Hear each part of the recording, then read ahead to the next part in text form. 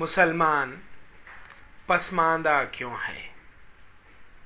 मुसलमान पसमानदा क्यों है? मुसलमान और पसमानदगी,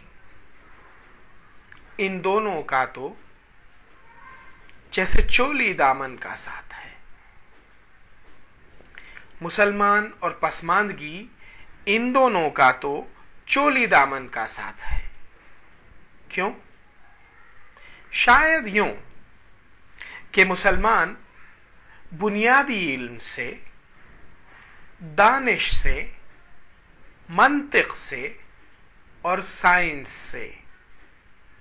शायद यूँ कि मुसलमान बुनियादी इल्म से, दानिश से, मंतिक से और साइंस से एक खास पुरखाश रखता है। और यह क्यों? यह यूँ कि बुनियादी इल्म, दानिश मंतिक और साइंस सिर्फ़ और सिर्फ़ तहकीक व इस्तफसार की फिजा में ही जी सकते हैं।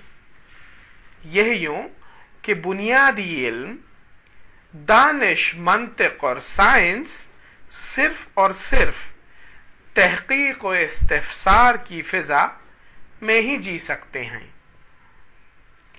और इस्तफसार कभी कभी साइल को इस बात पर मजबूर कर देता है कि वो अपने कुछ महबूब नजरियात को और इस्तफसार कभी कभी साइल को इस बात पर मजबूर कर देता है कि वह अपने कुछ महबूब नजरियात को दलाइल शवाहिद की रोशनी में अफसरदा खातिर होकर रद्द कर दे।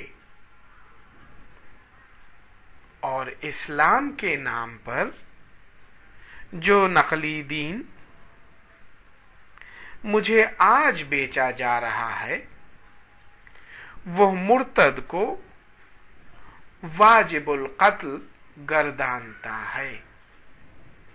वह मुर्तद को वाजिबुल कत्ल गर्दानता है।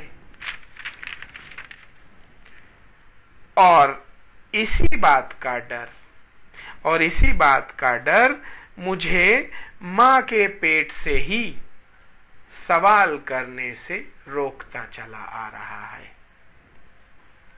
मुझसे कहा जाता है कि जो कुछ भी दाढ़ी वाला कहे, वही आँखें मूंद कर मान लो।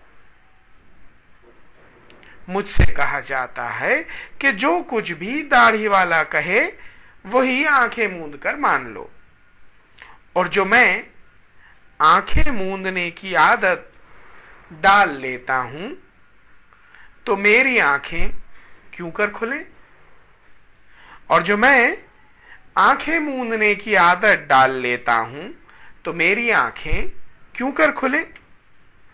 और दलाइल शवाहिद, बुनियादी इल्म दानिश, मंतिक और साइंस की रोशनी क्यों कर मेरी ज़िंदगी को मुनवर करे? और क्यों कर मैं, और क्यों कर मैं पसमानदगी को और क्यों कर मैं पसमानदगी को खैरबाद कहूँ?